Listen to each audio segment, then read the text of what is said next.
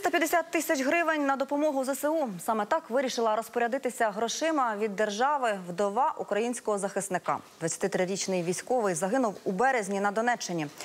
Він ліг на гранату, щоб врятувати життя побратимів. Його цивільна дружина, яка нині сама виховує трьохрічного сина, віддала усі кошти волонтерам. Своїм чинком жінка вирішила нагадати людям, що війна триває. Анастасія, вдова загиблого військовослужбовця, каже: нині чи не щодня маленький син Павло дивиться на зорі та згадує батька. На другий день повномасштабного російського вторгнення чоловік вже був у лавах ЗСУ. За місяць загинув. Рятуючи побратимів, він ліг на гранату. Со мной сын спал. И ребенок ночью начал плакать. И во сне кричать «Папа, стой, не уходи, папа Вава».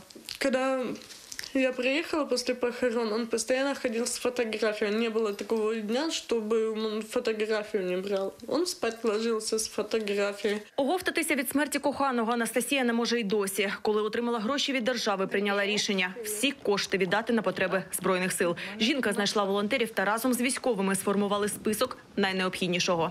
Такі речі, як тепловізори, які коштують там 60 з плюсом тисяч гривень, або генератори, які під 20 тисяч гривень, то це звичайно ми збираємо, закриваємо, але це дуже довго. На збір на один тепло- тепловізор десь виходить близько двох-двох з половиною тижнів. А у хлопців немає того часу, щоб чекати. Серед переліку була і автівка. Продати свою залізну ластівку Дмитро вирішив, щойно дізнався про збір. Дуже дякуємо. бойцам будет она в пользу.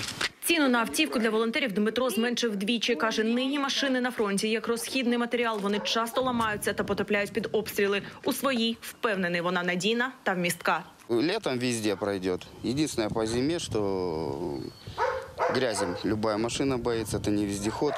Но машина грузовместительная, скажем так, проверена.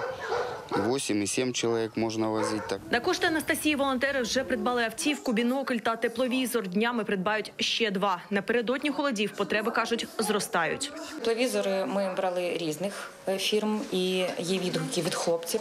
І саме основуючись на цих відгуках, ми обрали одну фірму, яка дуже якісна. Тому е, мною було прийнято рішення краще заплатити більше, і вже хлопці будуть з тією технікою, яка дійсно їм буде допомагати. Своїм вчинком вдова українського захисника вирішила нагадати людям, що війна триває, і наші бійці потребують міцної підтримки в тилу. На вагу золота кожна гривня, навіть найменший донат, може врятувати життя військового і наблизити нашу перемогу. Христина Венгеляускайте, Денис Сінегін, Факти ICTV. Єдині новини.